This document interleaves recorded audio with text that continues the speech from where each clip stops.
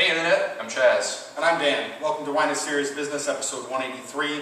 We're back with Byron again. He's got such a huge lineup, and he's so much fun to talk to that we just couldn't narrow it down to a single show when we were out here. We're like, let's do two shows. They're really different wines. We've been trying to get out here for quite some time. Um, so, so we'll do two different ones, two very different styles of wine. Uh, but we forgot to do this at the beginning of the last show. So why don't you tell us a little bit about what got you into making wine and really what you're trying to do with it today? Yeah, that's a good point. Okay, well, um, it really kind of interesting enough started here in Oregon, though I grew up in California. Uh, spent a lot of my primary career in California, uh, but in the early 80s was tasting wines on the weekends with friends uh, while I was going to uh, Oregon State getting you know, pursuing a different degree. Just came across these Pinot Noirs that stuck in my mind over the years. I mean, I can still taste these wines today. Well, that Do you remember a revelation one? Yeah, for there's- you? Oh, it's always a good question. Yeah, it's kind of interesting. Um, it's, it's. I'm not going to mention the brand because I'll tell you right right now. This brand. Fair the only reason I want, don't want to mention the brand is because this this wine really struck me, and it, it was really great. The, the, the producer is not great anymore, just to be honest. Okay, It's, fair it's enough. just one that's kind of uh, you know developed into something different. But and there were a lot, there were a lot of good wines, honestly. But there was one revelation wine where I, you know that, that sticks in my mind. It clicked, right? Uh, it clicked. Yeah. Uh, and so, you know, I pursued a different career over many years and, uh, you know, followed wine the whole time. It just, that, from that initial seed in, in Oregon, I continued to Yeah, this, yeah. Uh, explore different wines uh, throughout my career. And at some point, my interest in wine overtook my interest in my other career. So I decided to go back to school in California, to get my viticultural winemaking degree, intern for a Pinot Noir producer there in California. Okay. Uh, planted a small vineyard on Howell Mountain. That was all part of my education. When after I graduated uh, from that second degree, I thought, yes, this is indeed what I want to do when I grow up. So uh, we made a decision to, to come back to Oregon after thinking about some other possibilities. Uh, found the vineyard that became Luminous Hills Vineyard, uh, and then started, uh, you know, researching that. Uh, spent a lot of time just dialing that out perfectly, and then putting together the plan for the next ten years, which as you'll see today, includes our Rhone style wines along with the Pinot Noirs we tasted uh, last week, the you know the, the various whites, the Bordeaux style wines, which go back to the origins of what I did in California, the dessert wine. So um, that's the history of it. And, and the whole concept here is really about, for the Seven Hearts label, about exploring other vineyards, other AVAs, other varietals as distinct from our state vineyard I, I thought that was an interesting point that maybe we didn't touch on fully in the last show is that Luminous Hills, you're really focusing on one place. That's right. And then the, the Seven of Hearts is just, you're, you're really seeing what's out there. Exactly. Really trying to focus in on like key things that you really find interesting. Exactly, because you can't live by Pinot Noir alone. And Luminous Hills Vineyard is Pinot Noir, and I love it, and it's a distinct site. Um, but there's no qualitative difference between Luminous Hills and Seven of Hearts because we have strong relationships with all of our growers in terms of you know producing the best quality fruit from the different blocks that we source from. So the, the concept there is about doing things beyond Hills, exploring other vineyards, other AVAs, other products. I mean, a lot of Pinot Noir from all the different AVAs we work with. But here, today, we're exploring uh, one of the set of wines, the Rhone style wines, and the Shut Down, you know, Right. sub-label of Seven of Hearts, which is really inspired by, all my wines are inspired by great wines I love from the old world, um, like in this case,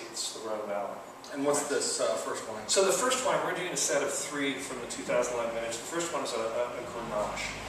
And Grenache is, uh, you know, is a, is a truly noble grape and often doesn't get enough attention as a, a single varietal, even though Okay. it is often a single varietal, but never shows up on the label on the older world because it might be uh, from a region.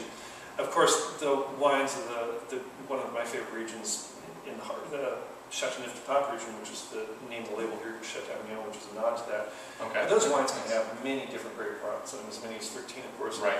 Quite. Usually fewer, depending on what the grower grows, what the source, what they have an affinity for. Mhm. But my favorite blends always tend to be dominated by these three varietals. Um, the Grenache, and we'll see them all together in, in the blend, but here, this really is, is a nod to just this great noble varietal. Uh, I have a really simplistic way of describing Grenache, and, and forgive me for that, but it, I call it Pinot with white pepper because a great Grenache has got a lot of the elegance and finesse, and texture, silkiness of a Pinot Noir, but it's got this distinct peppery note that comes through on, on the best sites. And I think that's what you're seeing here. And these, all three of these wines are from vineyards right along the banks of, of the Columbia River on the Washington side. It's the Columbia Valley, Okay. Washington AVA. Uh, the, this vineyard is uh, the Avery Vineyard, uh, 29-year-old Grenache, which you know, don't laugh It's not Oh, by well, European standards, but it's Old for a new world, pretty yeah. crazy old for, for, for the new world. But more importantly, uh, they're all grown right along the banks of the river, which have a lot of qualities and very reminiscent of, of, for example, Rhone Valley, where you have uh, the heat that these varietals need, especially the Grenache and Mourvèdre, Mhm. the moderating influence of the river, uh, Right. cooler temperatures at night, retain more structure in the city. Again, these are more old world style. These are not big bombs. They're they're about you know having some finesse and elegance and texture. And so you know you've got those components. You've got the gravelly, sandy soil there, which I credit with all these you know Provençal spice notes that you get, hot Right. rocks qualities, and then of course even the winds that come up the gorge are like Mistral winds of the Rhone Valley. You get, very beneficial help, uh, in terms of the you know the, the health of the vines. Right, cooling effects, keeping them from getting too hot, yeah. And, you know, the airflow and minimizing disease. Oh, yeah, pressures, minimize disease, yeah. Yeah, that's a nice thing to keep track of. So the spice you're talking about is all over the very place on the dominant, yeah, here. yeah. And, and there's a lot of complexity to it as well, right? Like the white pepper he's talking about is definitely there, but there's just like, touch, yeah, like touches of nutmeg, touches of herbal notes, and I think like this nice, yeah, this nice raspberry flavor kind of underneath it all. I think a lot of Grenaches, um, even, even ones that, that we've had, even ones that we like, uh, can really be getting into the, the purple syrup kind of Yeah, kind of wine. And and this is this is not right. This has a has a light character to it right out of the gate. And one of the real keys to this is the, is the oak balance. This is all neutral French oak. you know, Okay. Not, not a lick of new oak. Uh, Mm. Even avoid one-year-old barrels on this because it's just so delicate, um, you know, in terms of the, the profile. You don't want any of that, um, you know, that, the Grenache quality, the, the texture, the um, to, to get lost. Man, this is really enjoyable. We, were, we, we, always go through pre-taste stuff, you know, like figure out what we want to do for the show. And this is one that stuck out at me because I should say when I see Grenache, or this New World Grenache, bottled separately by itself, I haven't had a lot of terribly good experiences with it. It's usually been sort of simple, maybe like on the lower end wine for them, and just something to, to fill the, fill in the gaps between their other like bigger wines. And this one is just really, really nice. Like, there's obviously a lot of love that was put into this wine as far as the quality level is concerned because the, the fruit is delicious, the structure is delicious, and there's like a bunch of minerality in this wine that is uh, pr- pretty awesome. Like the chalkiness and the tannin is just fantastic. Well, thank you. I do love this wine. I always say I have an intimate relationship with my barrels, and it's just about spending time with them, and get to know each of them and how they play together. And these ones play together pretty nicely, I think. I would say this is a, a substantial Grenache without being overstated. Yeah. right? Like it's not, it's not big, it's not gloppy. Like this is light and delicate. Has really, Crisp. really nice, yeah, Yeah. crisp, yeah. But uh, just the, the way the acidity and the tannins on the finish is just awesome. What is this? What is the price point on this one? So this is, um, it's not really inexpensive. It's $29 bottle retail. The reason, what you'll see is these first two are single varietals. They're really small production wines. I basically selected four barrels for these, for these wines, 98 cases each. So that's that's a function of low volume. The, the. GSM that we're going to have, which is a blend of the Grenache, the Mourvèdre, and the Syrah, is $25 because they're, you know, I've got the advantages of volume and Right. 350 case production. Nice.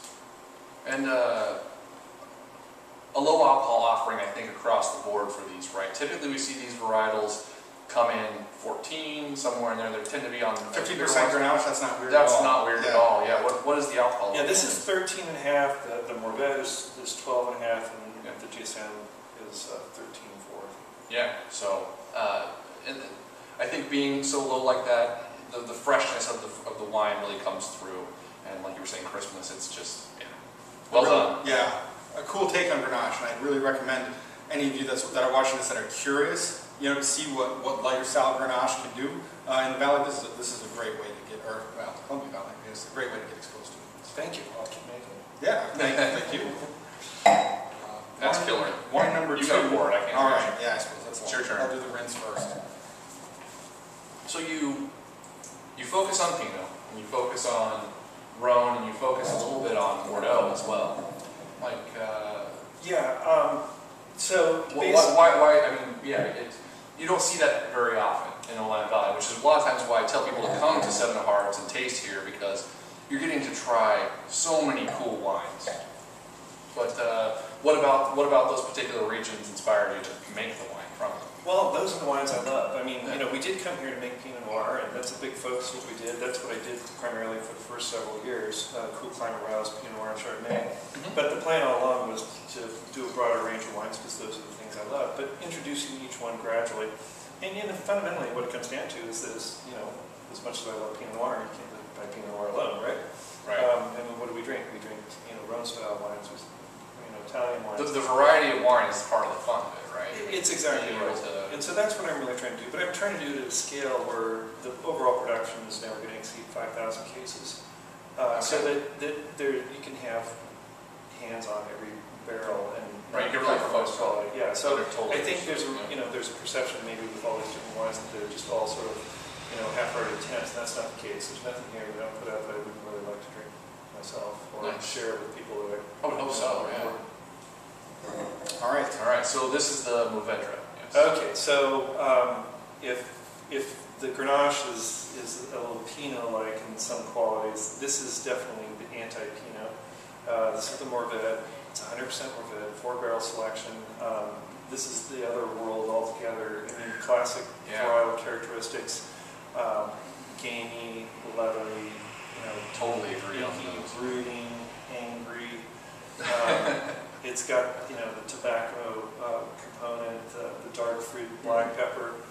Um, but you have to think about this in the context of food again. You know, whereas the the Grenache has got a range that's probably comparable to Pinot Noirs in terms of, and maybe a little bit broader in terms of because the pepper notes into some Right. bigger foods. Here you're, you're talking about something that, you know, throw some game meat at it, some venison, or, um, you know, elk or boar or stinky Something cheese. big, yeah. Something big. Yeah. Um, but it's, it's, it's I, I, I love the varietal, it's so distinctive.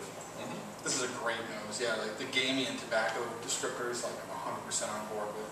And I'm getting some great earthy funk out of this too, like dry red earth.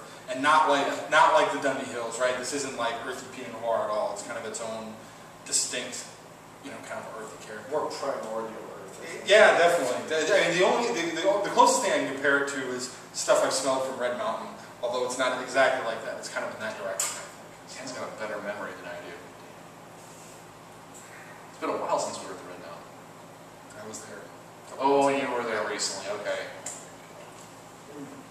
You know, this is, a- this is a varietal that does require a fair bit of heat, so it's grown for us out in Hell's Gate, in the Washington side of Columbia. Hell's Uh, Gate. Hell's Gate, well, yeah. Good name. Good name. Interesting that there's two choices for the name of the vineyard. Um, we have a choice of Hell's Gate or Sugarloaf. um, we, we Hell's Gate. They're a little more badass for this wine here. Yeah, take Hell's Gate. That's good. But Although Sugarloaf is certainly funny as well. it's pretty. Well, it's a functional little geo, geologic formation there in the vineyard. Okay. Um, it's, it's, it's an interesting wine in the sense that the nose is definitely a lot of the leathery, earthy components. The tobacco comes through. The palate has like uh, dark fruit with a, a sort of a tart edge, but the, the, the, the, the leathery, peppery components come, in, come through for me on the finish. And uh, again, because of being a sort of a lower alcohol vendor, I'm totally used to like big 14, 5, whatever. Um, the fruit has a really, uh, like a, just a nice linearity. You don't ever lose it, right? And it's, uh, it's really nice. The persistence is really, there we go. That's really I'm better capturing. saying. Yeah. Um, so I'm getting like these these earthy flavors and the kind of tannins settle into the gums and teeth. But on the center of the palate, it's like when you bite into those perfectly ripe, dark red cherries. You know, when they're right in the right spot, where they've still got some acidity, where the juice is still really clean and not too sweet, and that just hangs out in the middle of the palate. Eh, Still, while, I, while I'm talking, so this is like seconds after on the finish, you're getting this like clean, delicious fruit lingering on the palate while the structure settles into the sides of the mouth some minerality going on there too. I'm I'm so excited about this. Like this is really delicious. This is really good. Do you think we should make this our new state varietal? This is this from the Oregon That would make side? No, no, it's- No, okay. Well, Yeah, we yeah. can make it Washington's new state varietal. Maybe I, I I'm But definitely something you should probably do more of. This is, this is killing it. Well, no, without a doubt, the, the best domestic Mourvedre I've ever had for sure. Oh, thank you. But thi- this is, this is, small production is still double what we did last year, so uh, we're inching up, we're careful with these Two unusual barrels, four barrels. Four barrels. Four barrels. Yeah. Wow. I'll just leave Dan's tasting note there because like that was he's you're you're on fire tonight. Um, but just just the, the the the way this finishes just it's so it has a a fantastic linearity and taper. Like it just there's no gaps. There's no uh, I, I struggle to say full integration at this point. There's it's not fully integrated because there is some some really good strong acidity, some tannins, but everything has a really nice feel and it's really well balanced together. Like the yeah, parts parts of a song that are just right there together. Um, really nice. So Thank you. Well, I think, you know, one of, one of my goals with this was to actually have a, a more of it that had a little bit of uh, finesse to it. And I think you, yeah, I think you nailed it. The, Yeah. acid, the acidity, especially like one thing I've really appreciated about Seven Hearts label in the wines is that they're always a really they can, they can come off a strong acidity, but it's never overwhelming or the texture is never off. And this is uh, it's right there with with uh, what I know from you in the past. So, cheers. Thank you. Cheers indeed. All right, quick rinse here. So you were talking a little bit earlier about the GSM blend and that almost all or all of your Syrah went into it this year. Yeah, every last drop. So this was a little bit unexpected. This is the third vintage of making this um, blend, a Grenache Syrah Mourvèdre blend. Uh, and it's it's always intended to be different every year. We call it, just simply call it GSM. It's going to have those three varietals in it. Bottle After some of my favorite Rhone wines, which are dominated by those three varietals. Right. Uh, the previous two vintages were dominated by Grenache. That made the most compelling blend. This this time, I fully expected that going into blending trials, but was you know caught off guard that the Syrah really was the heart of this wine. And so it is dominated by Syrah. It's got 35% Grenache for the elegant fruit, you know, white pepper. The Syrah is 52% of the blend, more Wow. you know the earth, the meat, the, the blue fruit in the middle, and just 13% Mourvèdre, but still enough to deliver those those you know gamey, leathery, Mhm. tobacco notes at the back end of the wine. Um, but this is really where the magic happens. I get the Grenache, Syrah, and Mourvèdre to make this blend. Uh, you know, I love the, but I can never resist making the varietals by themselves, and they're equally compelling in, in certain scenarios, certain food situations. But here, you, you really are. That's this is historical about these varietals. They just have, you know, especially in a warmer site, you know, they, they draw upon each other, they complete each other. Um, so, yeah, that's why why we do this. Um, Awesome. Was 2011 a cool year in the gorge too? It was relatively cool, but the thing about that area is partly because of the river and partly because the, the, the fact that it's, it's a much warmer region in general. You don't see the variations that you do in the Willamette Hmm. Valley. And, you know, and so in the Willamette Valley, that's really what makes for the really differences that, in my opinion, the different uh, Pinot Noirs, for example, the different Chardonnays, Right. you know, Pinot Gris over years, that the vintage really has a big stamp on. Here, it definitely has an impact, but it's more about how the varietals respond to the vintage in more subtle ways and how they come together in different pieces. That's why, whereas the Grenache may have made the more compelling blend as a major component the last year, this year it was the Syrah. You know, the Syrah Right. stood out. So, I mean, the truth is, I mean, I would have liked to have made a Syrah by itself this year, but it it, I really all of its wine, so I sacrificed the Syrah to, to make, you know, enough of this blend. That's, that's great to have that flexibility, I think, too, right? Yeah, you know, and it's, you know, I- it's not like we feel like we have to make the set of wines every year. We'll make the best set of wines we can. And so it's, uh, it's like we talked about before, it's sort of iter- iterative process going back and forth between the single varietals and the blend to really optimize the blend and optimize that expression of the varietal by itself. Nice. The nose here is dominated by just wonderful dark pepper and blue fruit for me. That's the Syrah type. Yeah, the Syrah is talking big time. Um, the first taste through, I was, I was, uh, I didn't get so much of that, but now it's like really sticking out to me. I'm getting some dry, earthy scents on this as well. Do you do whole cluster on any of these? No, I don't. Okay. I do a lot of whole cluster and Pinot Noir. I don't, haven't done any, or don't do any, um, any of the Rhone varietals or the Bordeaux varietals Okay blue fruit and pepper, just a little bit of rich, like a rich edge to it, the earthiness, and it smells really good. It is all native yeast fermented though.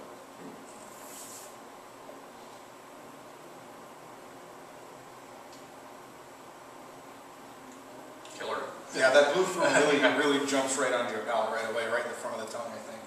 Yeah, so I, even though even though the Syrah isn't there, mm -hmm you can deduce Yeah. from what Yeah. you tasted there, subtracting from the and it's, oh, there's this Syrah.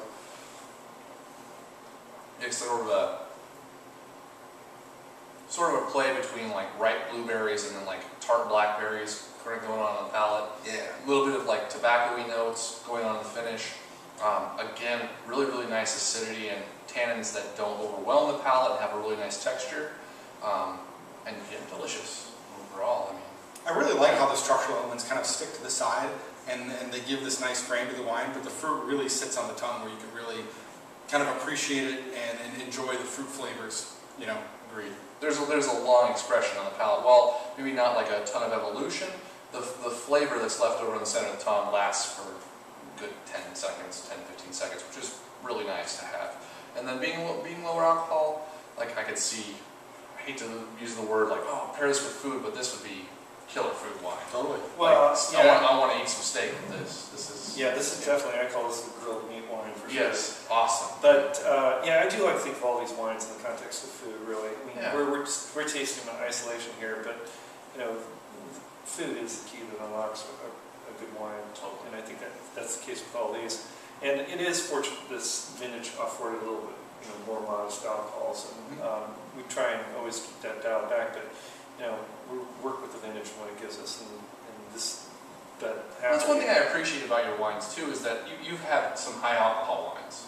I And, have. and you work exactly, you work with what you've got, and you make the best wine you can. And sometimes I, I've had some of your uh, your high alcohol whites, and they're awesome. They're really good. And like and They don't burn you up, right? Yeah, exactly. Like, where it says fifteen something on the label. 15, 8 Pinot 15 Yeah, Pinot but, but it's it's not it's But not I've had- like a, a blanket of alcohol like you get sometimes. It's I've had 13 fives that taste hotter. Well, Right. exactly. That's the whole Right. point. It's all about balance. So, you know, I mean, Totally. generally speaking, I prefer wines in the, you know, 12 and a half to 13 and a half percent range. But the truth is, is that if it's going to make a lesser wine, to make a lower alcohol wine, and there's always ways to do it, um, you know, then, then that's not the objective. The objective is to make the, the most compelling wine, the, the best expression, the, the most complete wine. And so if it has to be higher alcohol to do that, then, then we'll do that. Awesome.